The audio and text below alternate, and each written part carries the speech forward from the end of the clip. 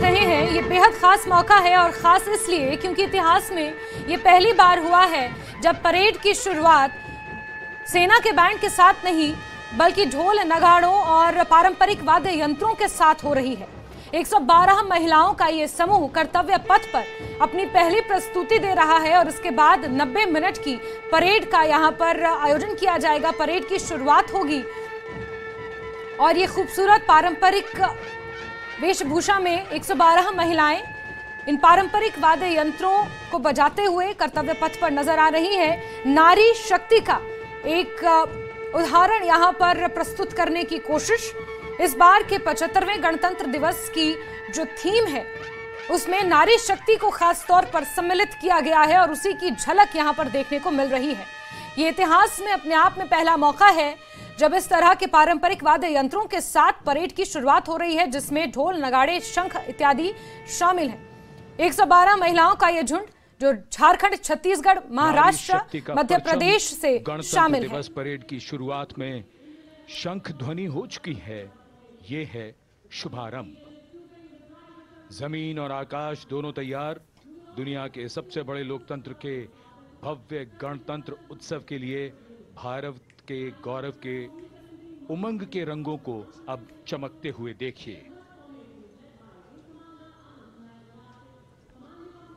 निगाहें आकाश की ओर, क्योंकि कानों में आ रही है हेलीकॉप्टर के रोटर ब्लेड्स की आवाज़।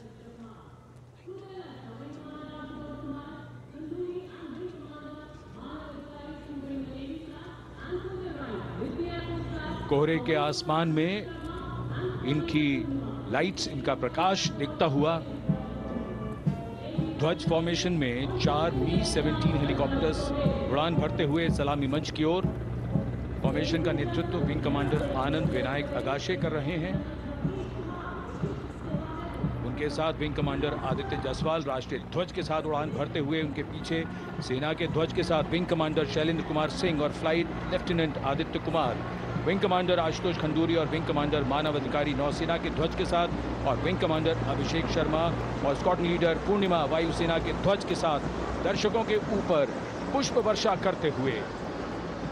शानदार दृश्य, भव्य प्रारंभ।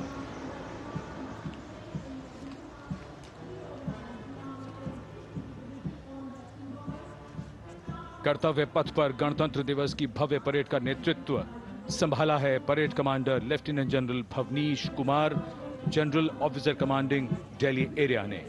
दूसरी पीढ़ी के अधिकारी लेफ्टिनेंट जनरल भवनीश कुमार, जिन्हें दिसंबर उन्नीस सौ नवासी को पैराशूट रेजिमेंट में नियुक्त किया गया था।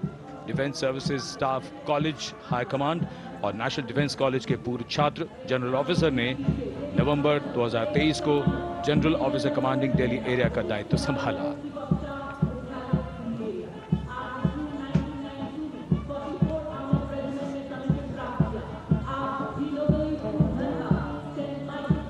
परेड कमांडर के ठीक पीछे अपने वाहन पर सवार। परेड के द्वितीय कमान 2IC major general Sumit Mehta. Major general Mehta को जून उन्नीस में कमीशन प्राप्त हुआ। राष्ट्रीय रक्षा अकादमी, खड़गवासला और भारतीय सैन्य अकादमी, देहरादून के पूर्व छात्र मेजर जनरल सुमित मेहता। उन्हें सेना कमांडरों और सेनाध्यक्ष प्रशस्ति पत्रों से सम्मानित किया जा चुका है। सन 2010 में भारत के राष्ट्रपति द्वारा विशिष्ट सेवा पदक से सम्मानित किया जा चुका है परेड के two major general Sumit Mehta. Kartavya Path पर अब वो परमवीर, वो योद्धा जिन्होंने बाजी पलट दी। दुश्मन को नाकों चने चबा दिए, मौत से आँखों में आँखें डालकर जूझे और वीरता की कहानियाँ बन गए। स्वागत कीजिए परमवीर चक्र और अशोक चक्र से सम्मानित वीरों का। परमवीर चक्र से सम्मानित Subedar major honorary captain Yogendra Singh Yadav.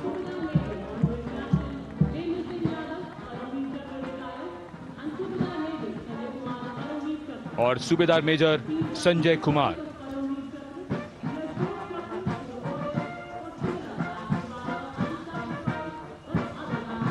और इनके वाहन के ठीक पीछे अशोक चक्र से सम्मानित मेजर जनरल सी ए पिठावाला, सेवानिवृत्त,